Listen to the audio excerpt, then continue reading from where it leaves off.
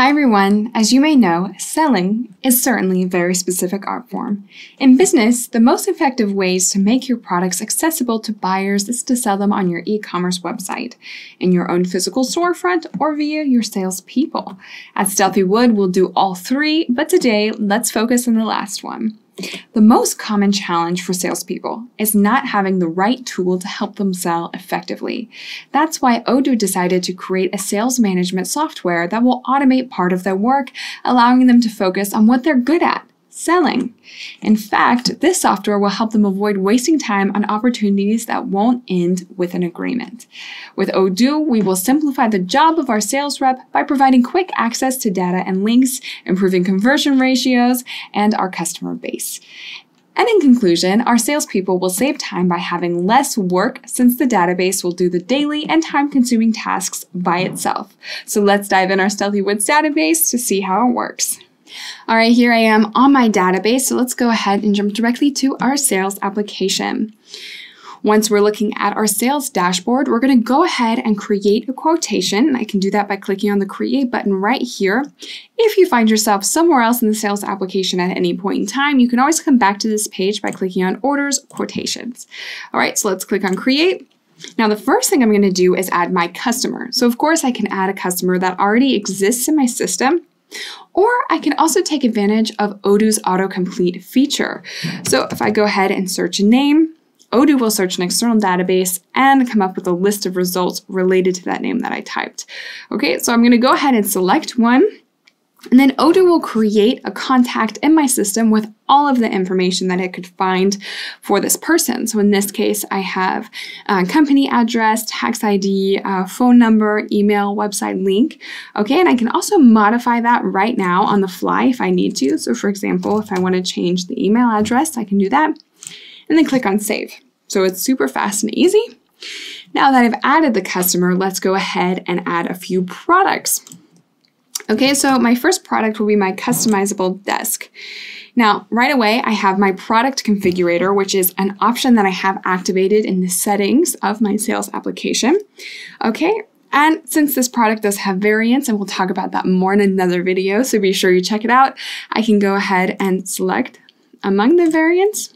Okay, but I'm going to go ahead and stick with the classic and then click on add. Now I've also added some optional products to my main product template, and it's going to allow me to add that to my cart right now without having to um, search for the product. So I'm going to go ahead and add my warranty. Okay, and that will be added to the quotation automatically, but I'm actually going to go ahead and show you where you can add those uh, optional products on the product template. So let's pop open our product template here.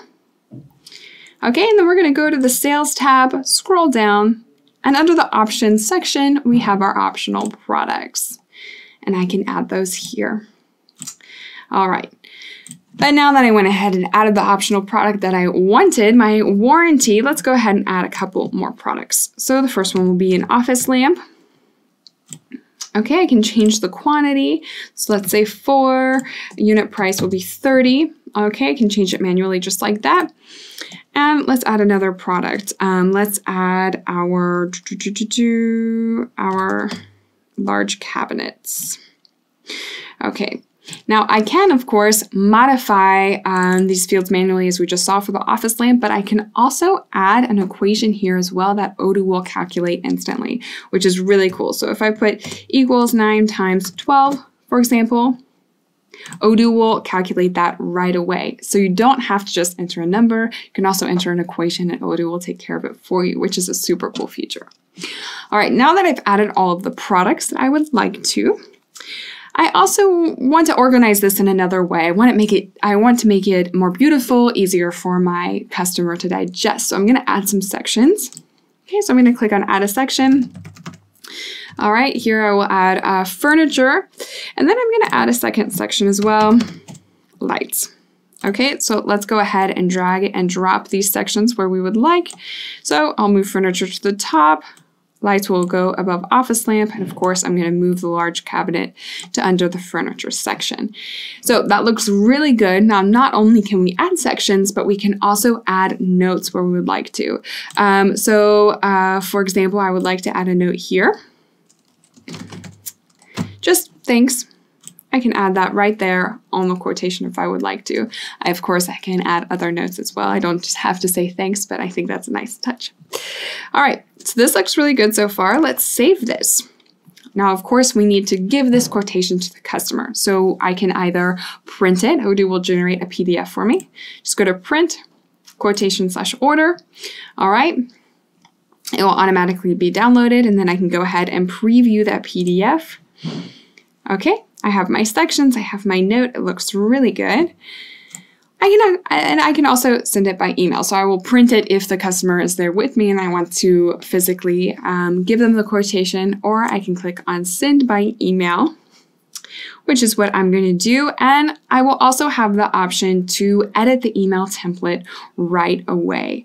Okay, so I have hello, your quotation um, 65 amounting in this amount is ready for review. And I can say, um, I can personalize it a bit even if I would like to. Hello, Odoo. Have a great day. So I can modify it or I can leave it the way it is. I have that option. So let's go ahead and click on send.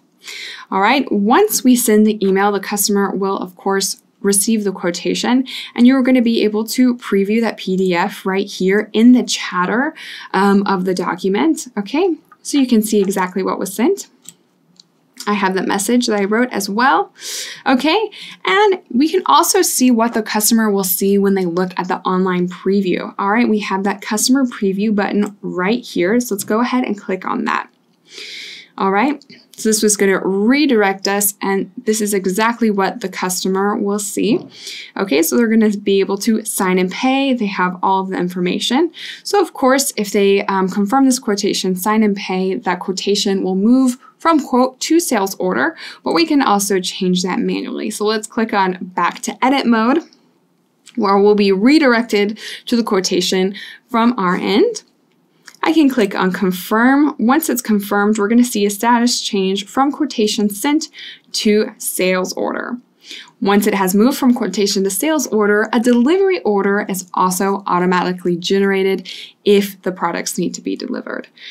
Okay, and then from there, we also have the option to create the invoice. We can always send by email again if we need to, and hopefully not, but we have the option to cancel as well.